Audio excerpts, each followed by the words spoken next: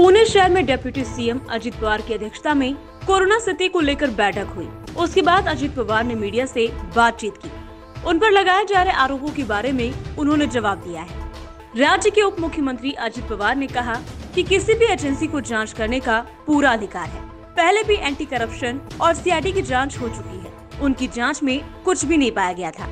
फ़िलहाल आर्थिक अपराध शाखा की जाँच भी शुरू है। सभी तरफ़ से जाँच की जा रही है, लेकिन कुछ भी अभी तक सामने निकल कर नहीं आया है। अजित पवार का ये भी कहना है कि उन्हें इस मामले में ईडी की तरफ़ से कोई नोटिस नहीं मिला है। उप मुख्यमंत्री अजित पवार ने कहा कि एजेंसी के पास जाँच का अधिकार है। इससे पहले सीआईडी और एसीबी ने जाँच की थी, लेकिन कुछ भी बाहर नहीं आया था।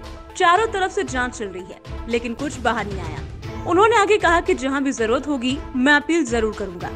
क्योंकि इस फैक्ट्री पर कई मजदूरों की जीविका आधारित है। ऐसा आरोप है कि जरंडेश्वरी सहकारी शुगर कारखाना पर मालिकाना अधिकार पाने के लिए अजित पवार और उनकी पत्नी ने मेसस गुरु कमोडिटी सर्विस प्राइवेट लिमिटेड नाम की फर्जी कंपनी बनाई। इसके अलावा जरंडेश्वरी सहकारी शुगर कारखाने के ज़रिए सहकारी शक्कर कारखाने के नाम पर पुणे जिला केंद्रीय कोऑपरेटिव बैंक से 700 करोड़ रुपए का कर्ज ले लिया। Bureau report, V news, Pune, Maharashtra.